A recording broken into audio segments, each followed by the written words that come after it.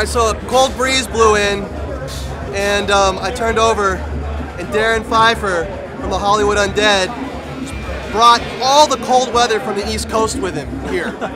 And I um, tried not to. I mean, I was holding a soda and it literally froze. But um, man, Daren, it's great to see you, dude. Good to be It's here. Great to see you, man. Yeah. Let's talk about like your like writing process. So you're with your band and you guys are coming up with coming up with uh, new grooves and stuff. Same and with you're this. coming up with a new song.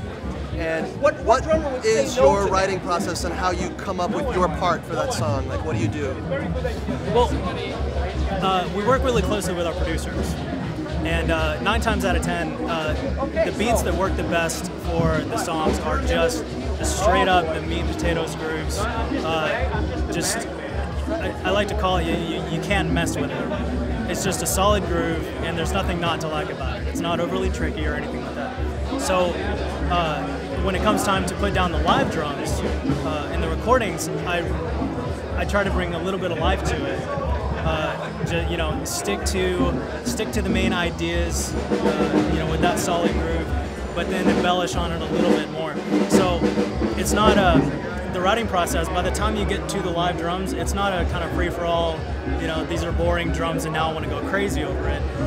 The boring drums for me is, is what keeps a song in my mind. So my favorite drum grooves, you know, are the ones that are just straight up pounding four on the floor. You know, you really can't mess with those grooves at all. Now, do you uh, do you play with a click in your band? I do. And how, uh, how how would you say you you you choose to play with that click? Are you you play behind the click, on the click, or in front of the click? It really depends on the song, because whether you're playing to, to tracks or a click, you still want to you still want to be musical. You still, or, or I still want that freedom to, if a song during the chorus wants to lay back and broaden out a little bit, then it can still do that. So.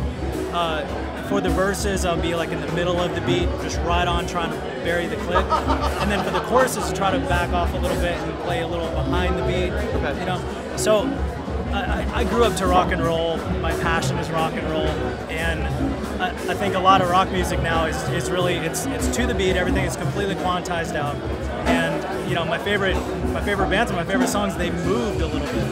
You know the whole band moved forward, played ahead of the beat on some sections, and behind the beat on some sections. So it's not really like this entire song lays behind the beat. Certain sections of the song can move a little bit on the beat, behind the beat, or on top of the beat. So was it difficult to like learn how to how to play just behind the beat or right on the beat? Because normally like when you're first starting out as a drummer, you like you try to bury that click, and if you can't hear the click, then you know that, that you're right on it. Yeah. But I know it's got to be a little difficult to to know exactly. Okay, I'm going to push it a little bit here, or I'm going to pull it back just a little bit, but I've got to stay right in that time. Was it was it um was it a difficult process to learn, or was it just easy? You, you can rely a lot on your instincts. I mean, if you, um, I mean, the, the, the skill that it takes just to play, just to bury the click, and yeah, you're right. If you don't hear it, then you're, you're on it, you know. But unfortunately, I think that that's where a lot of drummers stop. Like, I can play to the click, I can bury the click, that's it. But at the end of the day, it might not, it might not sound all that great. And the other musicians in the band, chances are, if you're the drummer is the only one that's going to hear the click. You know, your guitarist is not on the click, your singer's not on the click, so they might naturally want to feel different sections of the music faster or slower, just have a little bit of breath to it. But for any drummer that plays to a click needs to get that skill first, which takes practice to vary that click and to really know what it means to you know, to not speed up fills, not to speed up or slow down transitions, to really, really play on that click and bury it and own it.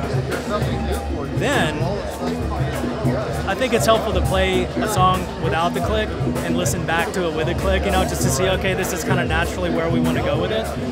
And it's not unusual nowadays. I mean, the technology is so good that you can have, you can program in a click that will naturally speed up just a little bit, like a, like a half of a click, you know. So it doesn't sound like the song is speeding up, but there's a little bit more, you know, energy to a certain section, or there's a little, you know, there's a little more chill to another. a little more of a section. human feel as opposed to just being robot. Daren, dude, thanks for stopping by, dude. It's always great to see you, man. And like that was that was some really powerful and valuable information that our viewers love hearing about. And um, dude, we'll see you out on the road. Thanks.